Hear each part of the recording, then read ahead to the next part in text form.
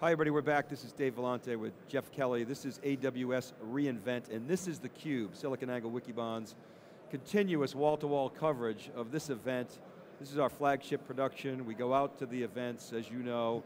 we extract the signal from the noise. Bring you the people that really are part of the ecosystem, the executives at the hosting company, uh, the practitioners, the customers that are actually using the technologies and try to paint a picture for you, our audience, what's happening at this show. Tim Saunders is here. He is the CTO and co-founder of CardFlight, a mobile payment platform. Tim, welcome to theCUBE, thanks for coming on. Thanks David, uh, and Jeff, thanks for having us uh, today.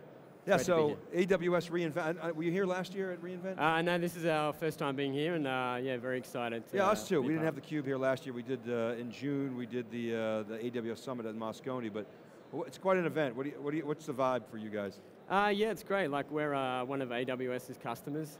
Uh, so as a startup, you know, it's very, it's great to be a part of some of the sessions. Uh, we're going to re-architect some of our system after being in some of the boot camps and sessions. So it's been very helpful for us as a company architecturally on the back end. I mean, you got to love that, the way that you know AWS gives back to the startups that have been yeah. uh, helping it get off the ground, right? Good visibility. We've seen tons of startups, you know, in, in sessions, up on the stage. I mean, you know, alongside with the big companies like Netflix, which you'd expect, but uh, but that's good. So how have you taken advantage of that? Um, just in terms of some of the sessions that you've been doing, just some of the action coming on the cube. Yep.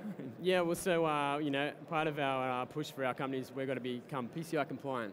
So we, because we process our uh, credit card data. So, um, you know, some of the sessions have really helped around security, encryption, um, and making PCI compliance really easy and simple for us to run. So talk a little bit about CardFlight and some of the trends that are driving your industry. Yeah, so CardFlight, uh, we make uh, mobile payments really simple uh, and easy for developers to get uh, mobile payments up and running within their custom applications.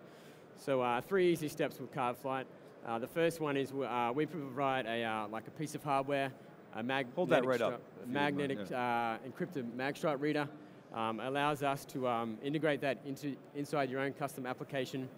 We provide an SDK uh, with a few lines of code you can integrate into our reader. We uh, estimate under an hour for you to get mobile payments up and running.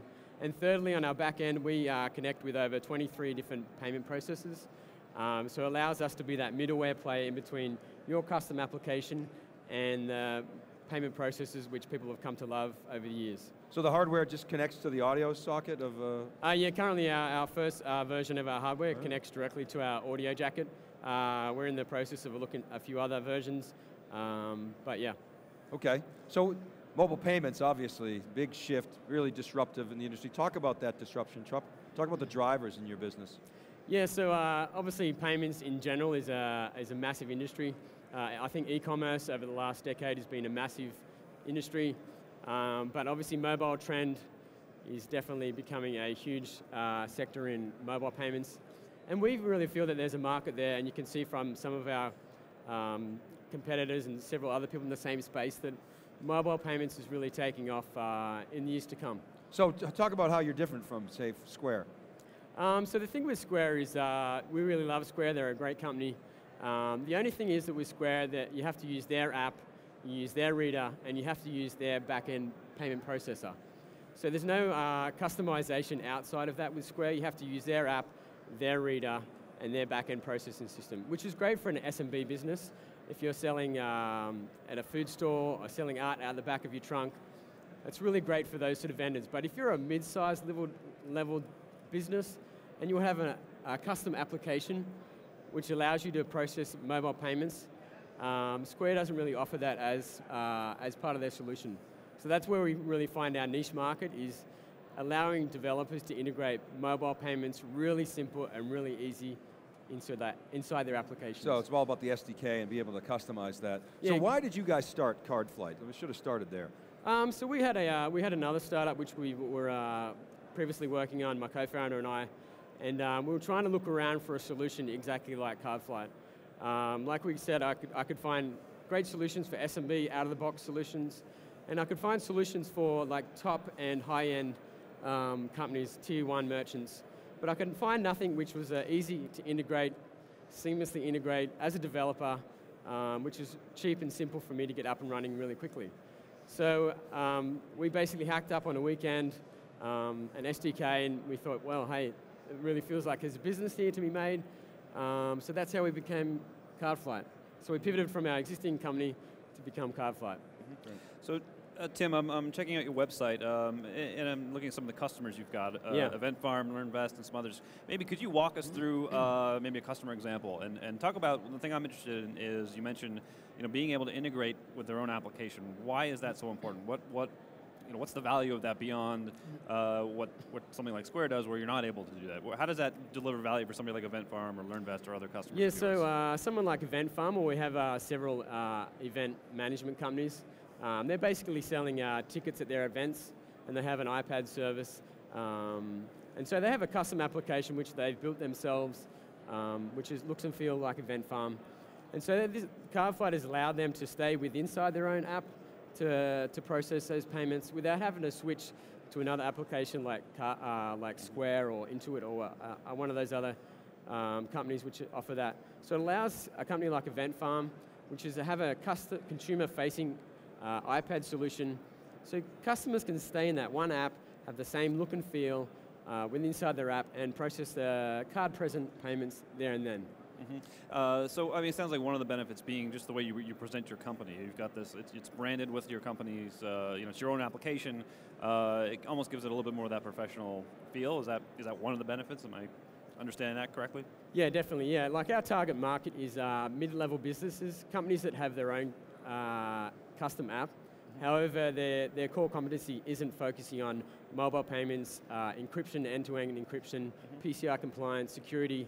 We factor that all out for those businesses as a service. So we allow them to um, process card present payments inside their apps and get that up and running really quickly and really simple. Mm -hmm. Um, so let's shift a little bit to AWS. Are, are you guys at this point completely on AWS? Um, what's kind of the, uh, the state of your infrastructure right now? Yeah, so we, uh, we started out with one of uh, Amazon's uh, competitors, AWS's competitors, and uh, one of our huge factors with CardFlight is security mm. and PCI compliance. So we went on a bit of a journey as a uh, development team to work out um, the best cloud solution for PCI compliance. Handling PCI compliance for a startup is a huge deal in itself. Mm. So we wanted to find the best cloud server which allowed us to um, reduce our scope down to P the smallest amount of PCI compliance scope and the amount of effort as us developers to focus on what we do well, which is mobile payments, and for the cloud server to focus on what they do well, which is PCI compliance. So we uh, went on a fact-finding mission. We found that Amazon AWS allowed us to um, leverage a lot of their infrastructure and processes for PCI compliance. Um, there's nothing we had to set up or no uh, NDA we had to sign. It was just out-of-the-box solution for us for PCI compliance. Uh, AWS have the shared responsibility model, so it really allowed us to factor out the PCI compliance scope down to as small as possible unit of work for us as a startup. Mm -hmm. uh, so for our audience members who might not be that familiar with PCI compliance, can you kind of explain a little bit about what that is and what makes that difficult? Um, then you mentioned that shared responsibility model uh, with Amazon. Can you uh, talk about that a little bit?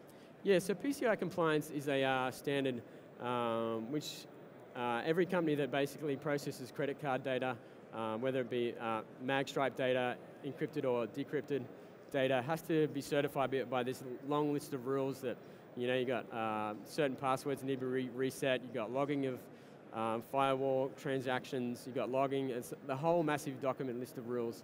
Um, and it's a standard for companies that are processing credit card data.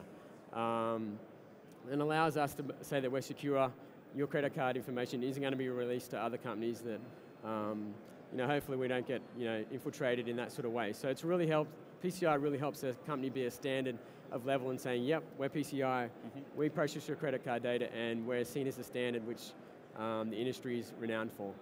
Um, and so with AWS, it's really allowed us to, um, with their shared responsibility model, is that AWS um, focuses on a lot of their infrastructure, um, a lot of their process. So we've factored out our system into three different sections, our API section, our web section, and our PCI compliance section. And our PCI compliance section um, focused on, on our credit card data processing. So with the shared responsibility, it's allowed us to you know, spawn up AMIs, um, allow them to um, uh, process them into different availability zones in different regions around the world. and for us to scale up and down really quickly using that shared responsibility so that we know that a massive section of our system is already checked off for PCI compliance. It's not, a, it's not another thing for our QSA uh, auditors to have to focus on, but we already know out of the box um, that it's already passed PCI compliance. And for a startup, that's brilliant. You know, for us to spend hours of time focusing on other sections which already has been covered, it's been great. So tell us more about the, the company. Where are you guys at? I mean, how did you get funding and you know, where are you at with funding? What's the headcount? Uh, yeah, so we're a uh, New York-based uh, startup. Uh, even though my accent's uh, Australian, we're New York-based. Um, and we're a team of eight of, uh, seven of us, soon to be eight, start of the year. And um, yeah, we're a seed stage funded startup. And um, yeah, we're, we're, basically putting out our product you know, for the next 12 months and, and uh, basically proving our business model. Uh, we believe there's a massive market there for us in the industry. And um, yeah, we're excited for what the future holds. Have you, so you haven't started doing a, a, a, a an A round raise? No, so we're probably uh, looking at doing a Series A um, probably uh, this time next year sometime. Uh-huh. So, uh, but we're currently in a uh, what we call a private beta phase.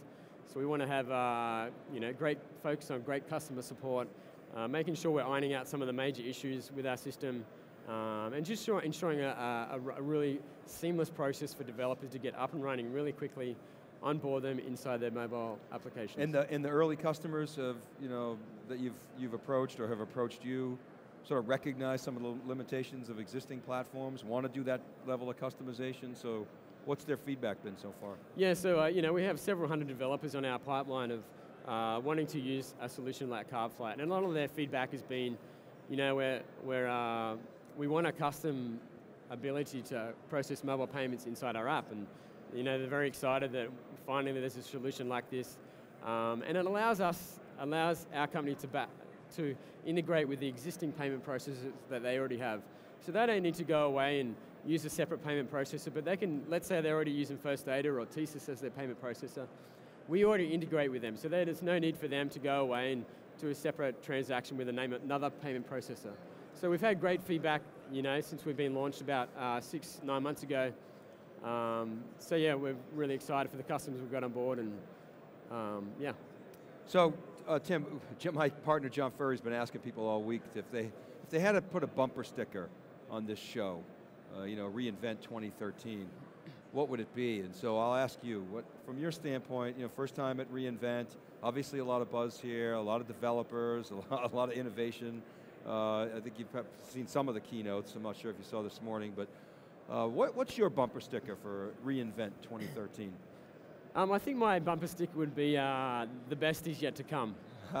so really, really, really believe, you know, reInvent's uh, innovative, um, pushing the boundaries of some of the cloud space, um, and I really believe the best is yet to come for AWS. And as a company, we believe we want to leverage some of that, uh, the stuff that is to come some of the announcement this weekend is really going to help us as a company as we grow and scale. So we really believe, you know, if I, there was a bumper sticker, would say the best is yet to come. That's a good one. Yeah, so it's early days here. We've been, we've been covering this, and we've, we've talked a lot about, you know, the, the trillion dollar market opportunity that Amazon's going after. So um, they're just barely scratching that surface. We're estimating, you know, three to four billion this year. So it's a long way to go. So Tim, uh, good luck, congratulations on you know, getting off the ground and, and having a, what appears to be a very successful pivot. Uh, we'll be watching, and thanks very much for coming on theCUBE. Yeah, thank you very much, Jeff and Dave and uh, theCUBE, and uh, yeah, thank you for letting us be a part of it. That's right. great, thank you. Okay, keep it right there, everybody. We're back with our next guest. We're live from Las Vegas. This is reInvent 2013, and this is theCUBE.